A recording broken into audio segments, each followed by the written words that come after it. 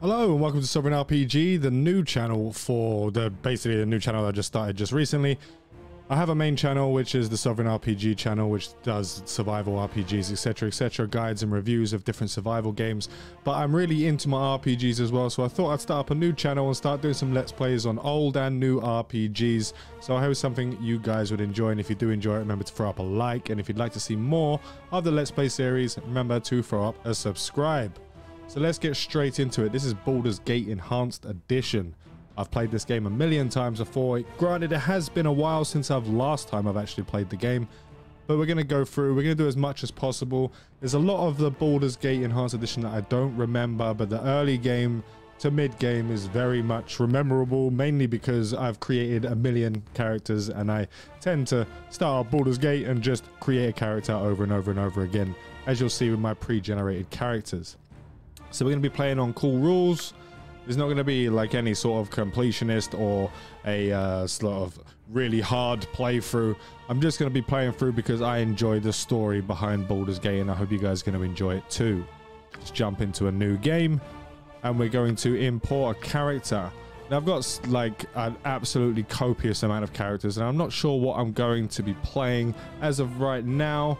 I'm probably going to go for the Cleric Ranger. I do love the Cleric Ranger, and I've taken off the option to take away, like to nerf the Cleric Ranger. But I do really enjoy the way the Cleric Ranger plays. So we're going to go for that. We're going to go for Ghoul as the racial enemy. We'll go through all the stats in just a moment. Going to go for Ghoul as racial enemy because there's a lot of that later on. And there's a lot of undead later on in BG2 when we get to that point. So basically, this is our character. He's a half-elf cleric ranger. He's got 18 66 strength, 18 dexterity, 18 constitution, 18 intelligence, and 18 wisdom. Now, this is not cheating. This was a roll. I used an auto roller, which is what I do because I can't be asked to sit there and click it over and over and over again. I will leave a link for the auto roller in the description if it's something that you guys want to take a look at when you're doing it. It basically just clicks reroll, it clicks uh, restore and all that sort of stuff. And when you're clicking on the restore button, when you go to the abilities section, and it will do that over and over again until like leave it for an hour, leave it for two hours, leave it all night if you want to get that perfect roll, and it will just store it. And then when you hold down X, it will stop it, and you can go in and put your stats in. This is basically what the stats are on this character. So his appearance is going to be black and blue because obviously the picture is black and blue and we're going to be going for the commanding because it is my, the best voice in my opinion.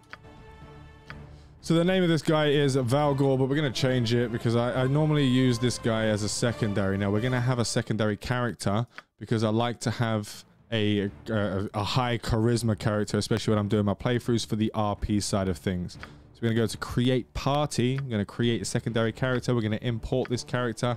And this one is going to be, obviously this one is going to be auto rolled as well. I don't know if we're going to go for, do I have a sorcerer saved? I do not have a sorcerer saved. That is absolutely not great. Do I have one here? No, fighter mage, bard, the barbarian, Tirana. That's the other guy's stuff. Rock the Shaman, Berserker, Cavalier. We could go for the Cavalier. We can have a we can have a tanky type character in there as well. So we're gonna go for appearance. It's gonna be the white and blah blah blah. And we're gonna go for the maybe the earnest. Your life ends here. I alone belong here.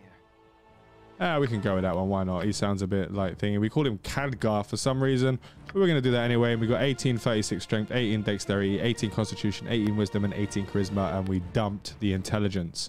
Going for two-handed sword and two-handed weapon style on this guy. I just dumped the intelligence because it really doesn't need it. I'm not going to be using any items on him. He's just my charisma slave, basically.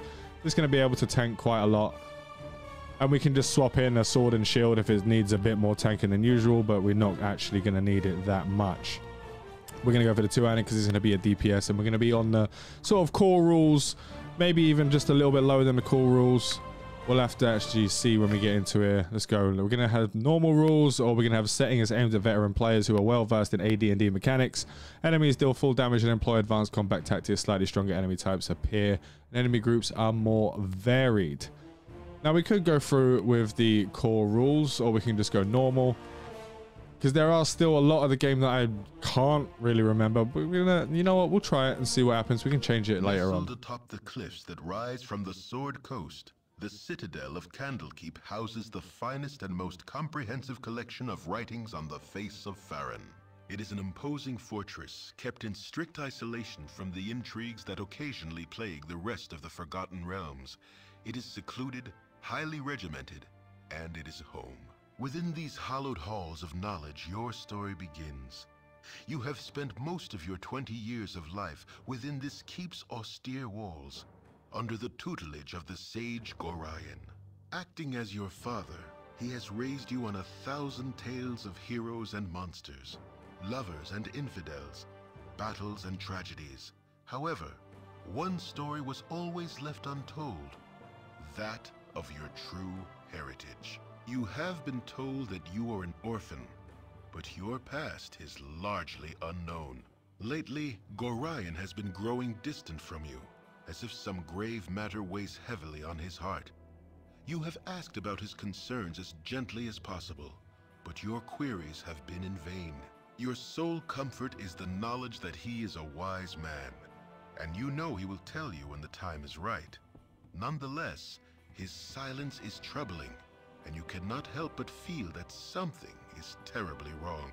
Today, Gorion has appeared more agitated than ever, and now he has uncharacteristically interrupted your chores in the middle of the day, imparting hurried instructions for you to equip yourself for travel.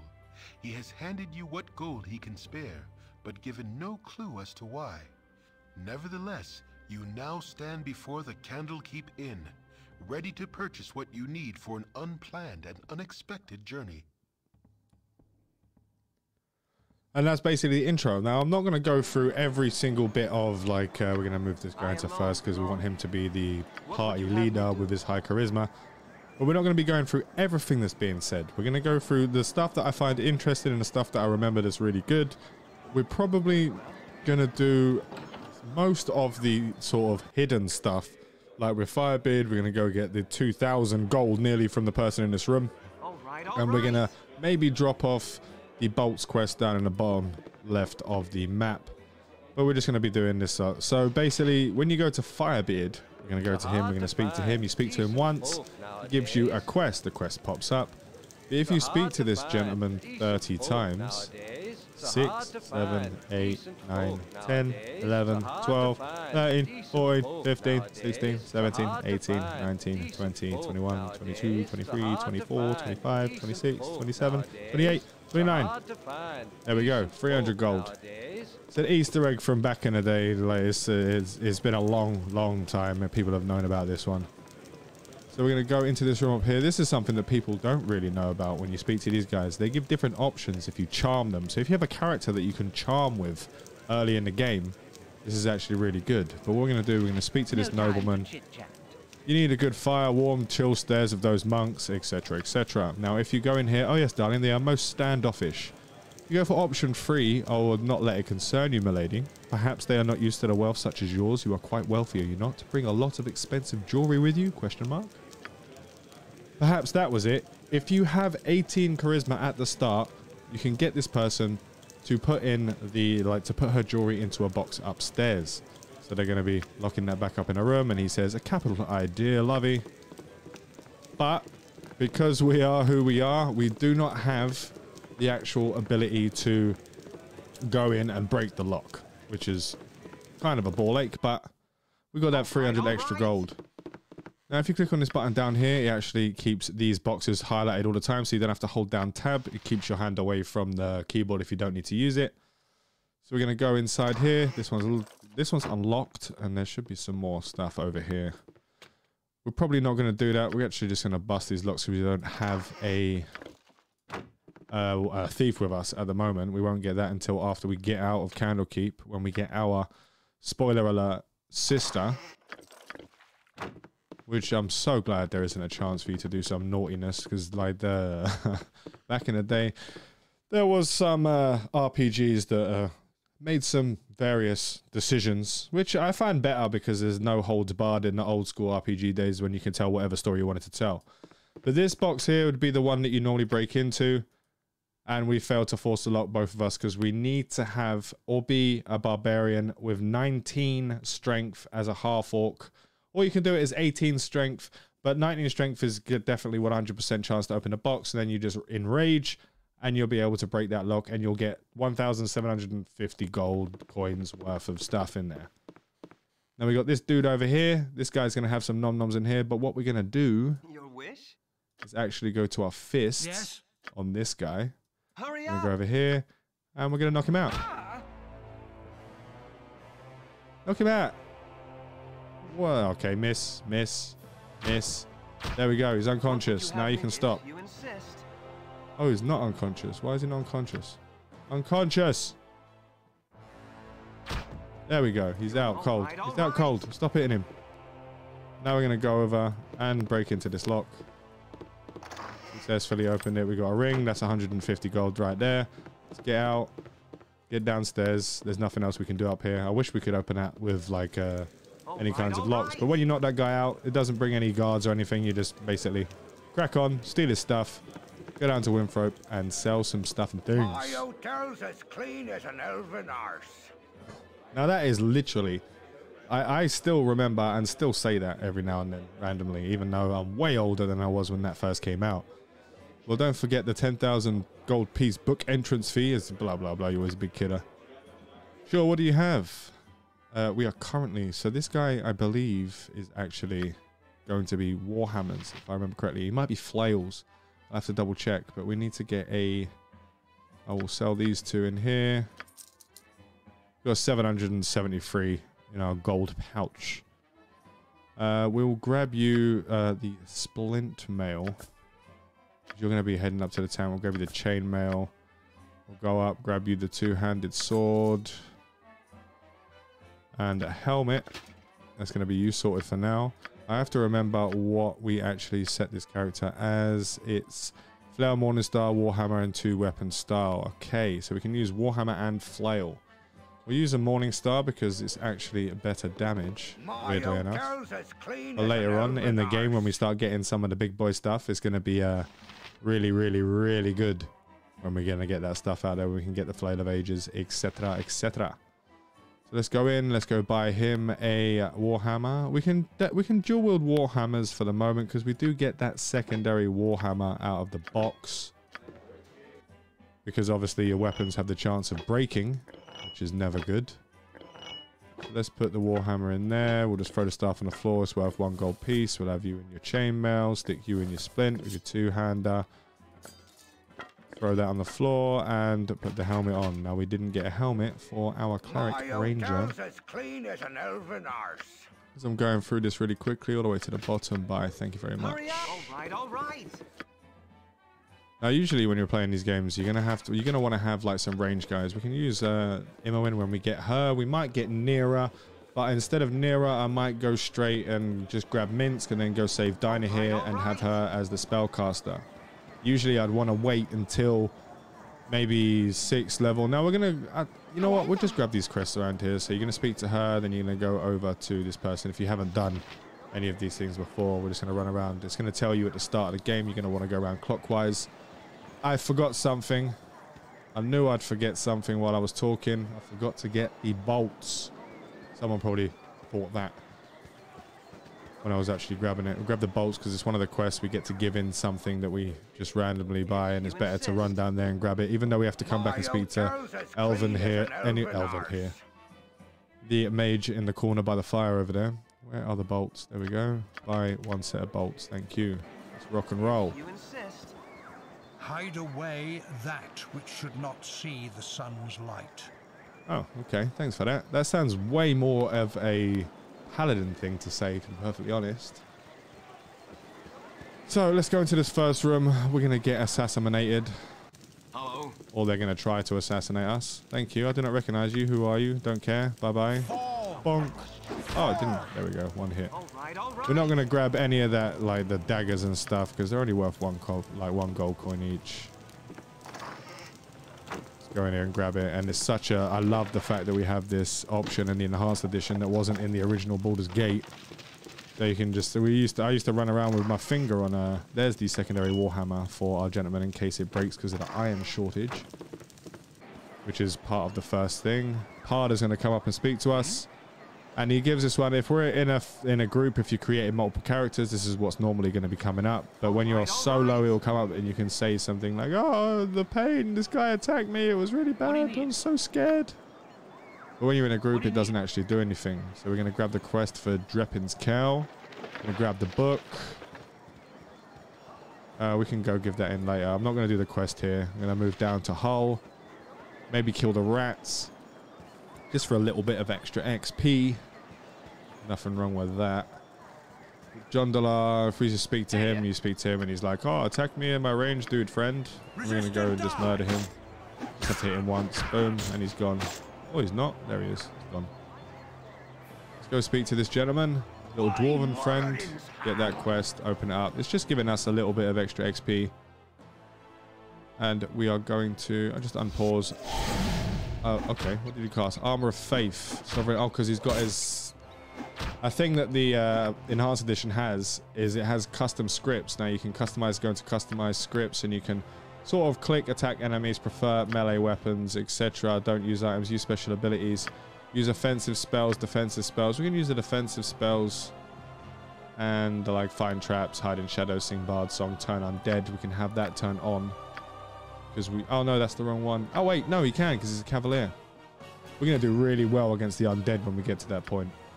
Uh, we have this prefer melee weapons, blah blah blah blah blah, and turn undead, turn on. Lovely jubbly. You in there? Have you killed the rats? Still fighting one rat. There we go. Should be another rat around here that we may have missed. Nope.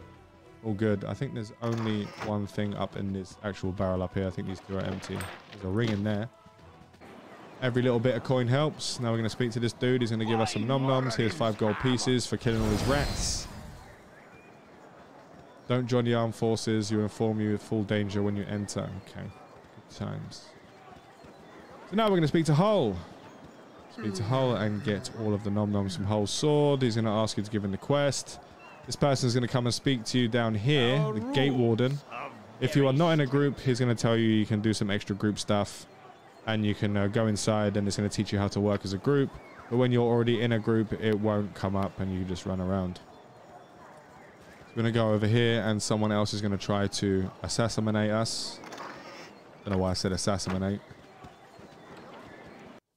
Go inside. He's going to say hi. And I'm going to go, hi. That I am. Do I know you? Dead.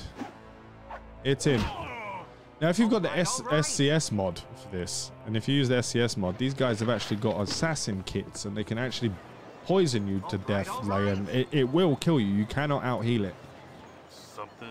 This is another person that you'd have. Oh, it was such a bad experience. Someone tried to murder me. So we're going to go inside this next room. Speak to Fuller. I should have joined. What we got here? Yeah, uh, I was just wondering if you have any errands I can run. Yes, you want some bolts. Speak to him again. Give that in. Get some 50. And a dagger, which is a dagger plus one, which we're not currently using. We're going to take the antidote and the sword. One to give to Hull. And one to give to the, the potion to the... Oh, uh, forgot to go in here. Uh, one, we're going to give uh, the sword to Hull, which is here. We're going to go up and give the potion to the cow dude. And then go and give the book to the lady at the top there. It's only a couple of hundred XP, and it's not nothing like you can skip it all and just carry on because you can farm XP from the ankhegs and stuff. But I like to do a little bit of everything while I'm running through. Well, there's Imoen. I'm afraid I cannot chat today. There's no way you could come. Gorion would never allow it. Oh, I know. Old stick in the mud he is.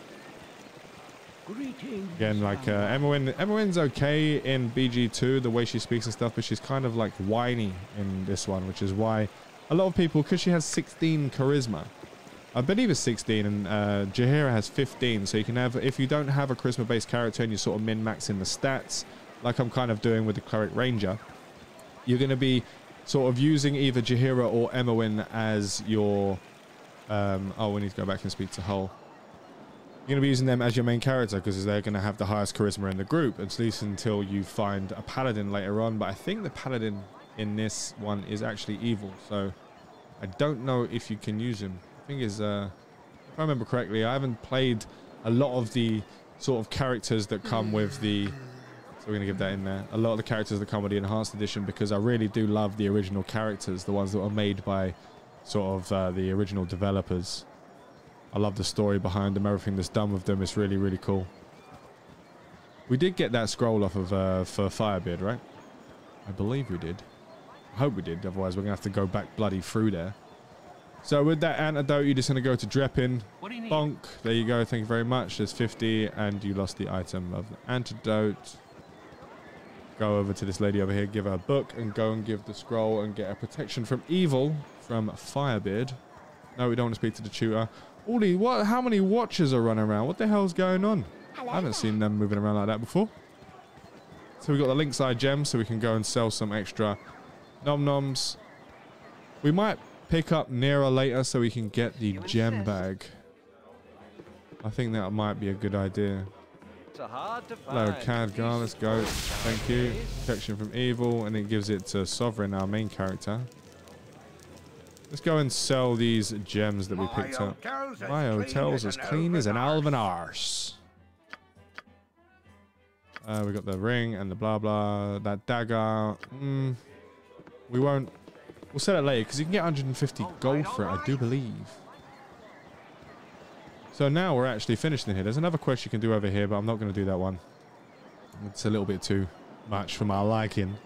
So we're going to finish off in Candlekeep and get out of here. And we might put a cut in it for the first one because it's just going to be like the character creation and getting the initial Candlekeep set up.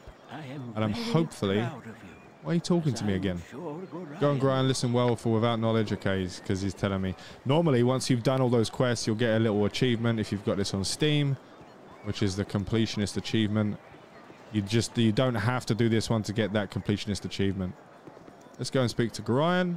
Oh, I'm ready to go right now. Boom, we're off. My other guy, Cadgar, just vanished, disappeared. ever become separated, it is imperative that you make your way to the Friendly Arm Inn. There you will meet Khalid and Jaheira. They have long been my friends, and you can trust them.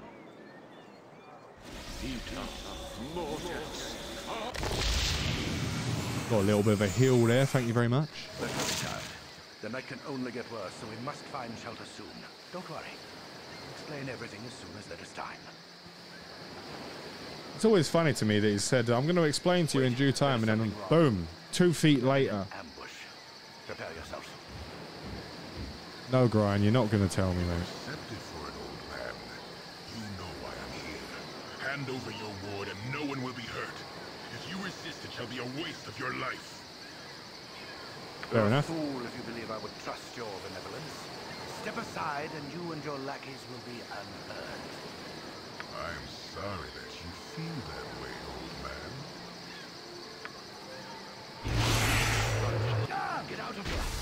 We're going to do a run on. Gorion's just going to absolutely obliterate 90% of this party because he's super strong.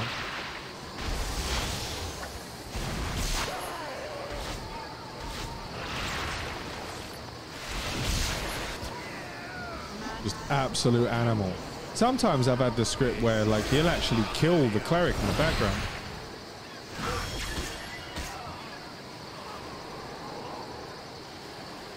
Poor Gorion. Sarevok, you bastard. especially cruel this morning. You awake with the realization that you have not been living some horrible dream. Ambushed, you saw Gorion cut down before your eyes, and even his powerful magic could not stop the onslaught. It was his wish that you flee, but that does not remove the feeling of helplessness that now overwhelms you. Hand over your ward, the armored fiend had said.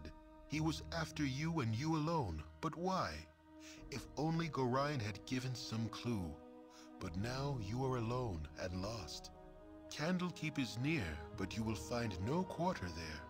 The readers pay for their serenity with rather draconian entry rules, and without Gorion's influence, their doors will remain closed. You will not last long on your own with your meager equipment.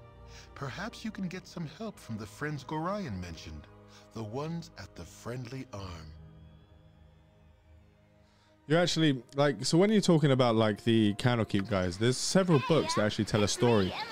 Oh, we'll just pick up Emma real quick. How could you have known? Grind didn't even tell me. And she's just like, I'm following you. We're gonna keep her anyway because we're gonna make her a thief mage. We're gonna get her up to thief level four, then dual her into a mage.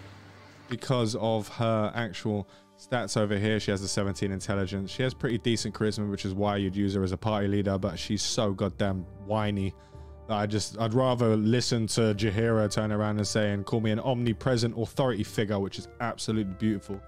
But you got high dexterity, you got the 16 constitution, which can max out the HP for the mage. Anything that isn't a fighter, you only need 16 constitution, and with the 17 intelligence, you can get an item later.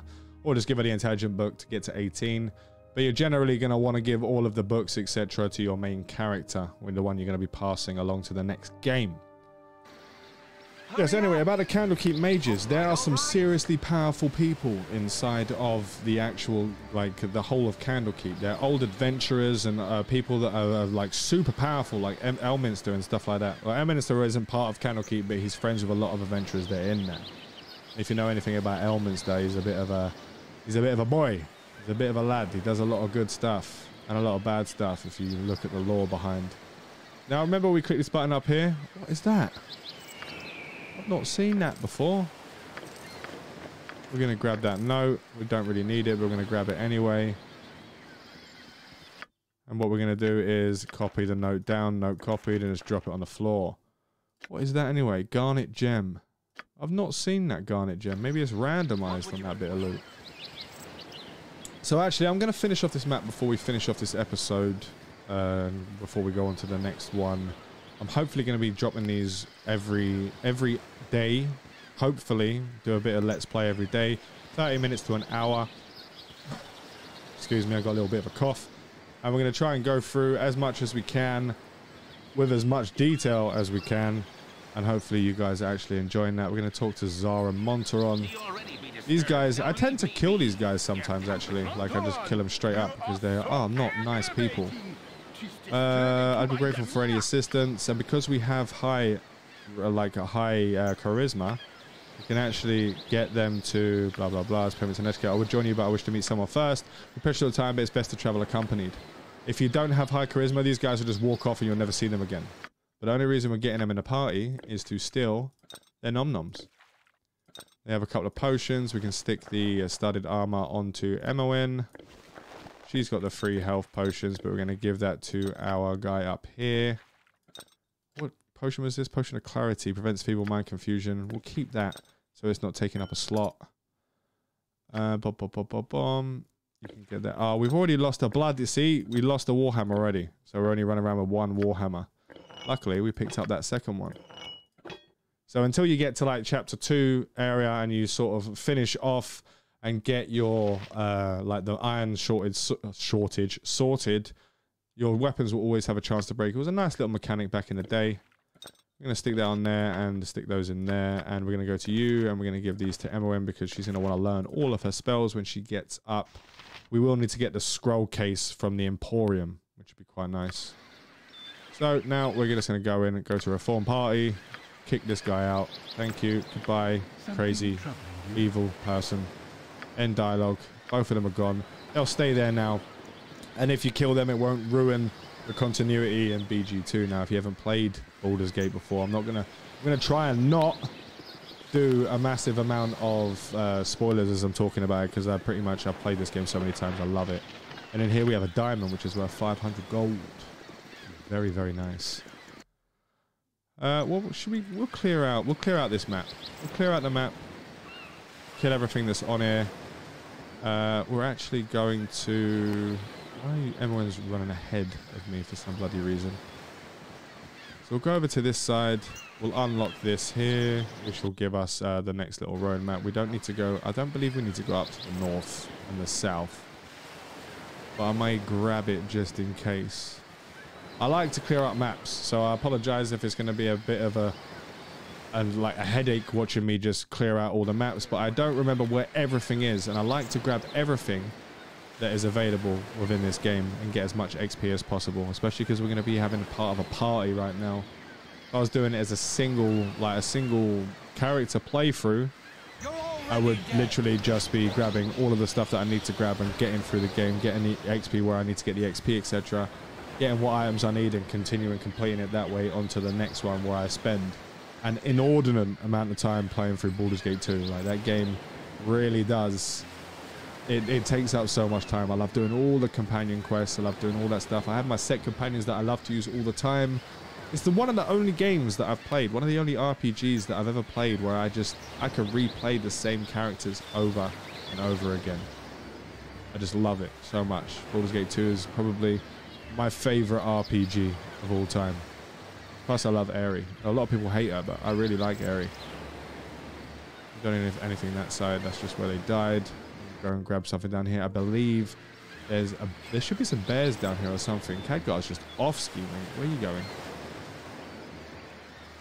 Walking well fast. Not even a berserker.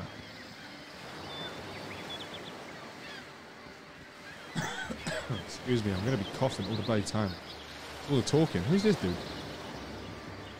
Don't remember this guy. You? Don't touch me. I about to let come any closer, but that seems to work, does it? Well, regardless, I should remain true to the genre. Don't come any closer or I'll jump. Oh god. No, by other gods, do not do such a thing. There's so much to live for. You're right, of course. What a fool I was to think that this would solve anything. I didn't solve anything last time. Okay, this is weird. Oh well, thanks for your concern. Tar. That, that was just weird. I've not seen that before. That is very odd. Does that guy do anything else later? Do you find him later doing anything else? So this is the way to Candlekeep where you can't actually get back into Candlekeep because they'll stop you. So we're not going to go over there and speak to the guards or anything. We're just going to crack on. Uh, uh, what do we have down here? Let's see if we... I don't think we can unlock anything south. I don't think we can. Oh, we can. High Hedge. Where we go and try to turn the apprentice back from... Oh, no, I'm not going to ruin anything. I'm not going to ruin anything. So let's just head over to... Tell you what, we're going to head over and clear this bit out. I can't help myself. I have to clear maps out. I don't know if any of you other guys like that are watching this have ever had that issue where you have to sort of clear everything on the map. Sometimes I'll have to clear every black spot out on the map completely. Oh, here comes Chunkers. Stand away from me. Could you help me, my foster father? I think of your time. Good luck in your travels. He's like, oh, do you need any help? But no, he can't help us do anything. So let's crack on and move to the next area. So over here, and we're going to see this old man, and that happens to be Mr. Elminster. A fair bit desperate, actually. Might you know the way to the Friendly Arm Inn? I was told I might find some friends there. That I would. The inn is a short distance to the north. So that guy is like uh, the Gandalf of the Dungeons and Dragons. Gandalf is probably written after this, like, uh, uh, this guy's probably written after Gandalf. I almost said the Gandalf. Uh, Gandalf's before. I'm pretty sure Gandalf's before Dungeons and Dragons. I'm pretty sure. Better be. I'm making a bloody big mistake. One of them was written before the other, and I'm sure each of them has like uh, some sort of influence on the character, each of the characters. But we're actually going to end it there. We're going to be carrying on with this. I'm going to be playing at least an hour a day. I do have the main channel, which is all the guides and stuff and the reviews of survival games if you want to check that out. I'm doing this as a secondary thing on the side because I have a lot more time on my hands now and I don't want to sort of oversaturate the main channel so I'm starting up and doing the RPG side of things which is my favorite genre on this channel so hopefully you guys enjoy it make sure to like the video if you did you'd like to see some more Baldur's Gate because we're going to be playing all the way through Baldur's Gate 1 we're going to go through the Siege of Darkspear. We're going to go through Baldur's Gate 2 and then the Throne of Bhaal with the same two characters Sovereign and Khadgar. I want to thank you all for watching and hopefully I'll see you in the next one. Fly safe and avoid local chat scams